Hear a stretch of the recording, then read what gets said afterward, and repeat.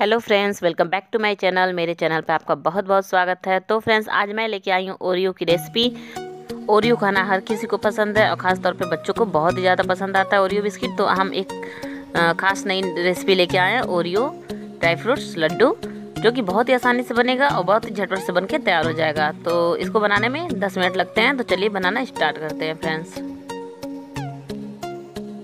Oreo Laddu बनाने के लिए मैंने यहाँ पे तिल को सूखा ही भून लिया है।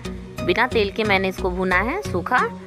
और यहाँ पे मैंने ड्राई फ्रूट्स को एक चम्मच घी में भून लिया है। यहाँ पे ओरियो एक पैकेट मैंने बिस्किट लिया है।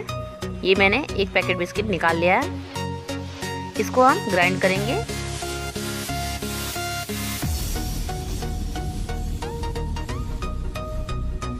यहाँ मैंने ओरियो बिस्किट ग्राइंड कर लिया है। तो जो मैंने ड्राई फ्रूट्स भून के रखे हैं उसको भी हमें दरदरा ग्राइंड करना है। आप चाहे तो महीन बारीक भी इसको ग्राइंड कर सकते हैं। यहाँ मैंने ग्राइंड कर लिया है ड्राई फ्रूट्स को। आप अपने मनपसंद का ड्राई फ्रूट्स मिला सकते हैं। तो यहाँ पे अब हम इसको मिला देंगे। और यहाँ पे मैंने ले लिया घी। देसी घी है। रिफाइन ऑयल नहीं है। ये देसी घी है। इससे अच्छा टेस्ट आता आता है। इससे हम थोड़ा थोड़ा करके मिला लेंगे।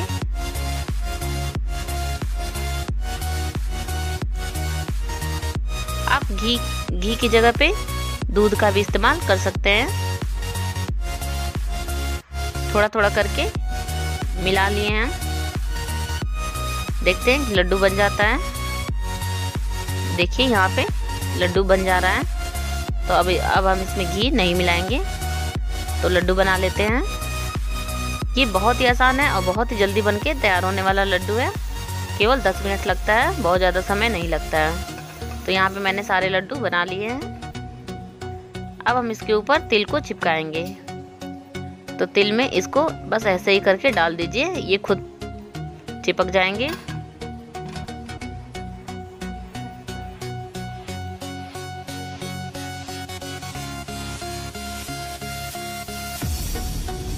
इसके ऊपर तिल को लगा देते हैं।